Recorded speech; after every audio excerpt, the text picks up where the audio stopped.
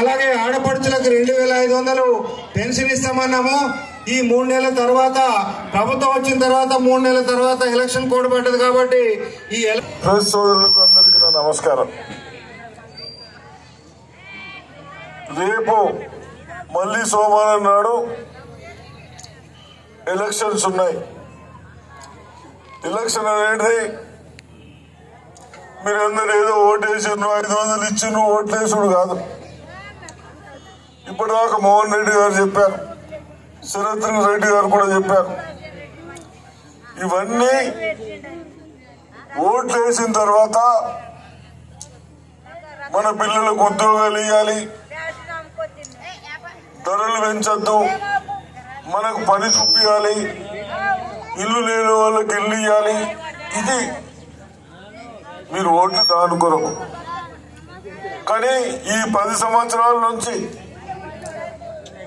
ఆ కేసీఆర్ సార్ ఆయన ఉద్యోగాలు ఇంటింటి తూగాలని ఆయన చెప్పాయి ఈయన మన మోడీ సార్ పువ్వు గుర్తు ఆయన.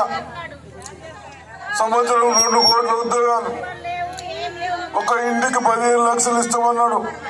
ప్రకాశ్పేటలో కొన్ని వచ్చినట్టున్నాయి పదిహేను లక్షలు కొందరు ఇళ్ళకు ఓ వచ్చినాడు కదా బాబు. మరి ఓట్లు వేస్తామంటున్నారంట కదా. పదిహేను లక్షలు ఇస్తామనే. పదిహేను లక్షలు లేవు రెండు కోట్ల ఉద్యోగాలు లేవు. మంచు నూనె పాల ప్యాకెట్లు ఈ బట్టలకు ఎన్ని ట్యాక్సులు వేసింది ఇప్పుడు మంచి నూనె ఎంత? నూట ముప్పై రూపాయలు.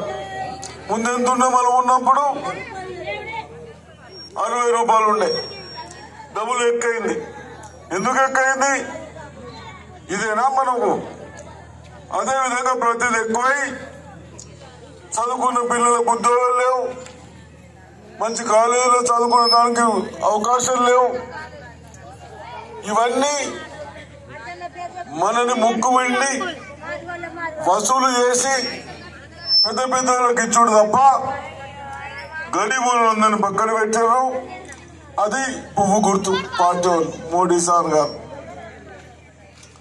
మళ్ళీ ఇప్పుడు ఓట్లకు వస్తా ఉన్నారు భగవంతుడి పేరు మీద చెప్తా ఉన్నారు ఇంటింటికి అక్షంతలు పంపుతా ఉన్నారు మనం అందరం ఎవరికి చదువులేని వాళ్ళు.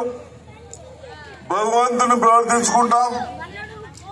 పూజ చేస్తాం గుడికి పోతాం ఇంట్లో కూడా చేస్తాం.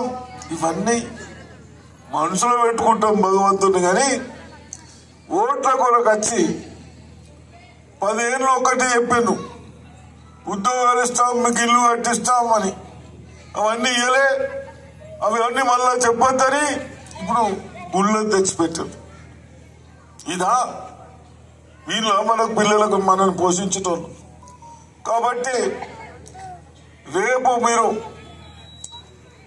మొన్న వేసిన ఎలక్షన్లో ముందు ఆడవాళ్ళకు